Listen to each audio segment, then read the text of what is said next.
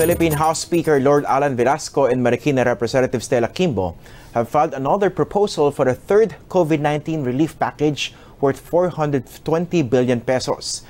But Malacanang insists there's already enough fiscal stimulus to go around. Let's now talk to Congresswoman Quimbo for more on the Bayanihan to Arise as One bill or Bayanihan 3. Good morning and thank you for joining us again on the program. Good morning, Christian. Thanks for having me. First, what do you think of this uh, comment coming from Malacanang uh, that basically we have enough funding uh, in terms of stimulus and perhaps we don't need this yet? Well, um, given the recent uh, estimate of the PSA that our GDP contracted by 9.5%, uh, which is the biggest contraction since World War II, I think um, it's time for government to spend more. And that's the reason for why uh, we filed this bill, proposing an additional 420 billion uh, pesos uh, in spending by government. Um, Christian, uh, just for context, in the in the ASEAN, we have uh, one of the lowest government spending as a result of, uh, I mean, in terms of COVID response. So I think um, we really need to to bump up spending, particularly to increase consumption by households. So uh, we need more assistance, uh, ayuda as how we call it, ayuda for families um, as well as for workers. And uh, also um, we need to give grants to MSMEs for capacity building. Okay, basically we'll try to break down each of the proposals uh, for specific industries. But uh, in the first place, how did you arrive at 420 billion and can the government afford it?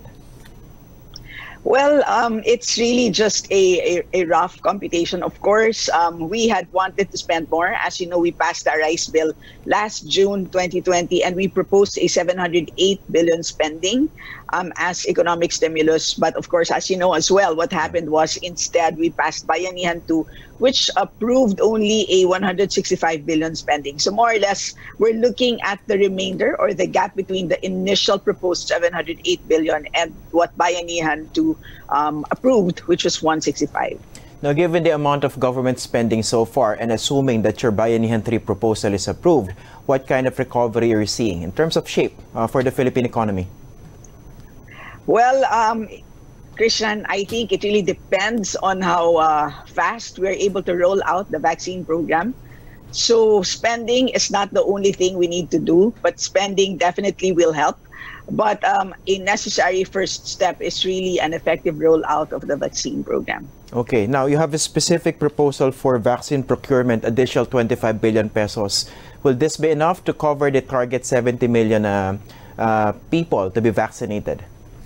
Well, hearing from Secretary Galvez, uh, it would seem that uh, the 82.5 billion that uh, we had allotted under both Bayanihan 2 and the 2021 GAA, uh, uh, that's going to be sufficient. Also in light of um, the many pledges from the private sector for donations. So the 25 billion is really just additional support, particularly for logistics as well as um, for example, information campaign, uh, which is very important to increase vaccine confidence. Okay. Now let's go to the specific proposal uh, for specific industries. For instance, you allotted, uh, based on the proposal, 70 billion pesos in assistance to farmers, livestock producers, and fishermen. This is something that specifically uh, hog raisers are waiting for because they're badly hit by this Af African swine fever. And basically, they're, they're blaming the government.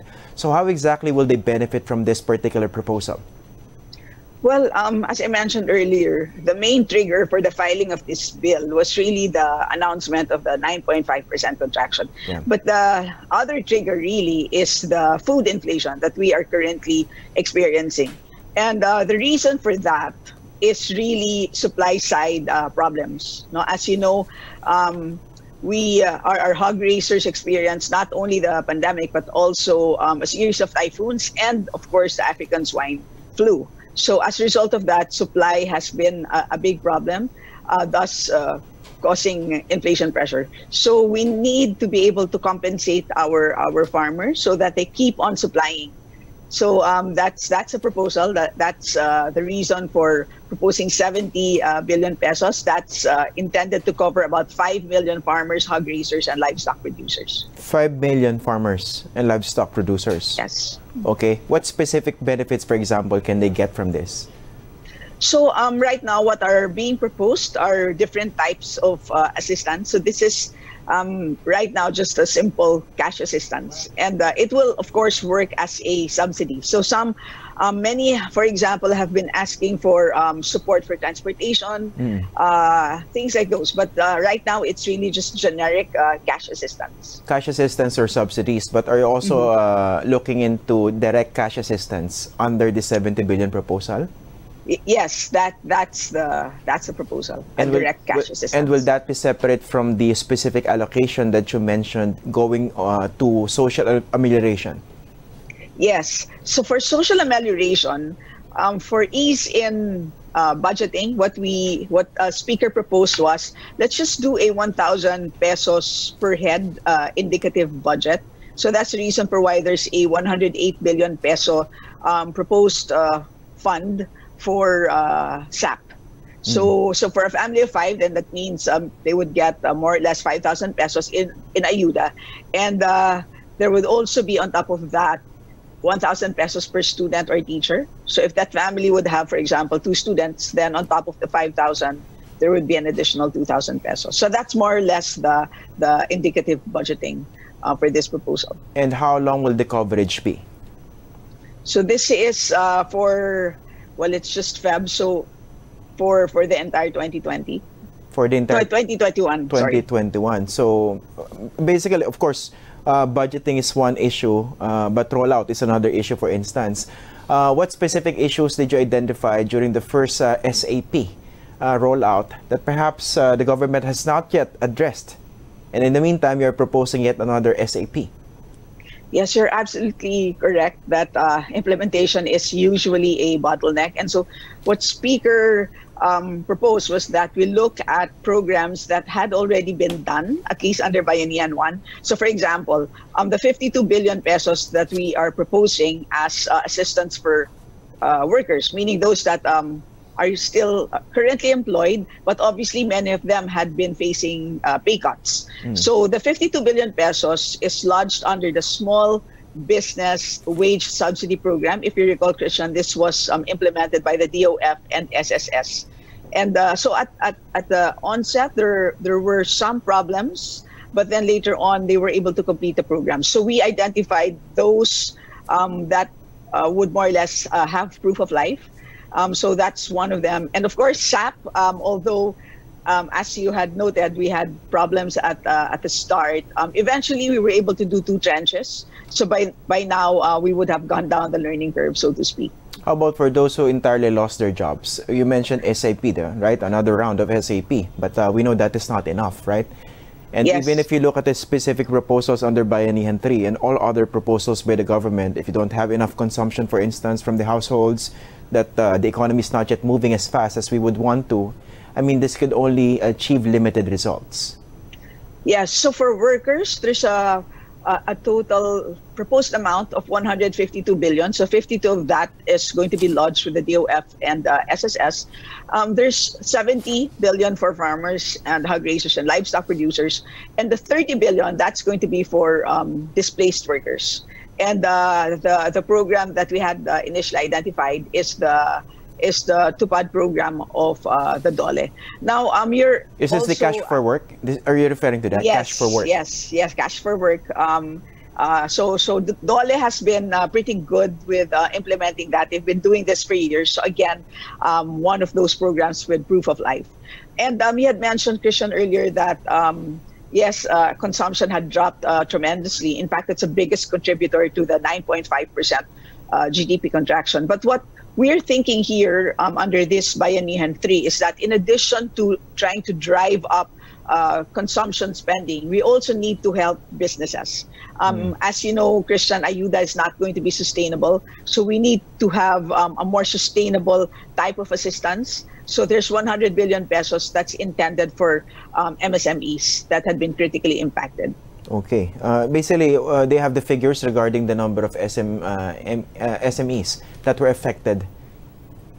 Well, there are about 1 million formally registered MSMEs, but um, a lot of the MSMEs are really in the informal sector. My mm-hmm. my personal estimate of that is about 5 million. So again, the 1 billion pesos, sorry, the 100 billion pesos, um, that's good enough for 5 million MSMEs at let's say 20,000 um, per, per firm. And, and, of course, I think the specific proposal is capacity building, right? Uh, yes. So. Mm, okay, how will this work? Yeah, as you know, Christian, under Bayanihan 2, we had put in uh, a big amount for loans to MSMEs. But um, given the very low take up um, at this point in time um, by MSMEs of loans, um, we think that what we need to do at this point is really to give them grants to get them started or restarted.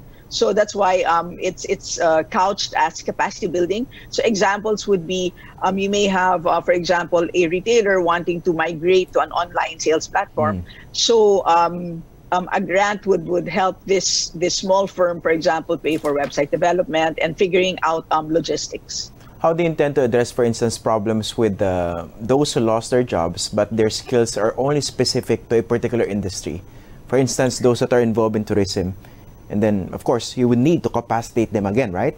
To be able to move to, let, uh, let's say, other industries that are opening much faster than their previous uh, industry. Yeah, so a two-pronged approach. One is, of course, you need to um, give them some assistance as a result of the displacement. Ergo, we have that um, displaced worker um, allocation. And then on the other hand, um, that's where the capacity building for MSMEs would come in. So, for example, um, you have a business, for example, in a sector that's critically impacted, like tourism, mm. and you want to repurpose your capital. So then this this firm should be eligible for a capacity building grant.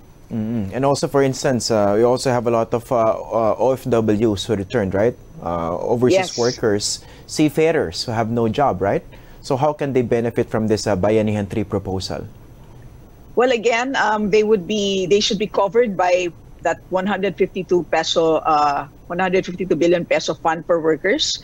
Um, so displaced or whether they are currently employed but waiting, for example, for for the next contract or for a renewal of the contract, they should qualify um, for for some assistance. And then again, um, uh, the, the 100 billion for MSMEs that's going to be lodged with the DTI and the Small Business Corporation. So um, if that OFW wishes to open a business, um, that OFW should be eligible for some capacity building grant. Then, of course, the other side of the problem, uh, we need to consider the ongoing pandemic, and we know that uh, there's this ongoing debate between the economic uh, managers and also the health team in terms of how soon, how relaxed the uh, the approach should be. In this case, uh, this is one part of the problem that you're addressing, right? Um, uh, resuming household consumption, for instance, of course, developing or reopening businesses. But of course, you also need to consider the ongoing pandemic. Uh, what's your assessment? What would you prefer, for instance? Do we need to uh, open further to be able to accommodate all these measures that you are uh, proposing now? Well, Christian, the kind of assistance that we're proposing um, that's really for basic needs, meaning buying food on a daily basis, which every Filipino or every Filipino family is is doing today. You know, even um, amidst that debate. So I think um, they're specific dun sa, sa businesses. E, sorry, um, I mean, even if you want to open businesses, right? For instance, you have to support them. But of course, yes. we know that there's there's still a lockdown. For instance, I mean, you you still need to to consider the pandemic. Well, there are still some funds under um, Bayanihan 2 that had not been uh, used up yet. So I think, um, uh, particularly for loans. So if you are, uh, th- those are some other forms of assistance that businesses can still avail of um, on top of um, what we are proposing under this uh, Bayanihan 3. Okay, and finally, uh, when the when is your target in terms of having this uh, measure pass? Uh, my impression is since this was sponsored or uh, principally authored not just by yourself but but by the House Speaker as well, uh, this would definitely enjoy wide support, at least uh, at the House of Representatives. Well, ideally, if if you want to have, uh, if you want an economic stimulus uh, package to be effective, um, it should be proactive rather than reactive. So, in other words, it should be in place um, to prevent businesses from closing rather than as a reaction to businesses that have closed or as a reaction to workers losing their jobs. So, if you ask me, um, sooner is always better than later. But of course, um, there's a lot of convincing that we need to do. Um, particularly, of course, our economic managers who have repeatedly been saying that um, this is something that's not necessary. But uh, so we hope that they take a second look at um, this proposal. Um, again, uh, in light of um, the most recent figures from the Philippine Statistics Authority on GDP. And you think that should be enough to convince them? 9.5% contraction. Well, that's very big considering that um, uh, they had uh, only expected a 5% uh, contraction. So that's almost doubling of their initial estimates. So hopefully um, that's something that can convince them. And uh, of course, we've taken out um, a lot of loans at this point. Um, this is really, in my mind, a uh, very good uh, use or purpose for those loans. Okay, Congresswoman Stella Quimbo, thank you for joining us this morning. Thanks, Christian.